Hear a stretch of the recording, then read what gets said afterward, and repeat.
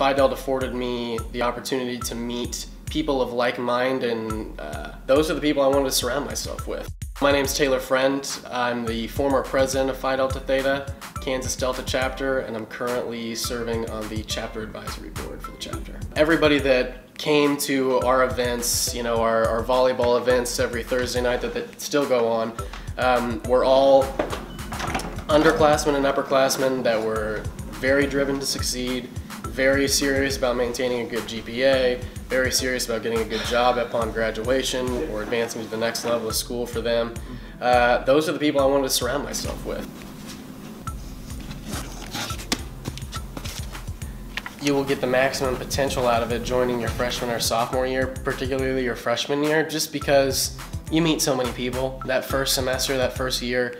Um, if you can align yourself with people that you want to align yourself with quickly, that'll help you continue to grow and foster more relationships. That being said, when I was, um, every year that I was in the house, we had seniors come and, and start uh, their Phikeia education process with us, and they all got a different benefit out of it. Phi Delt helped me out professionally in ways that I never thought um, I was going to, I never expected to get from a fraternity. It taught me about how uh, to go out and meet new people. It taught me how to connect with people. Uh, it taught me how to shake a hand. I mean, wear a suit, everything uh, that I have in my current job that I would say that I'm proficient or excel at is because of this house.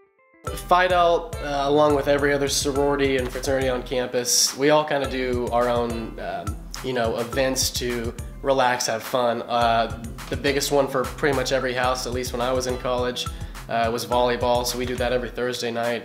Uh, it's a time for all Greek houses to come over, uh, hang out together, uh, grill out.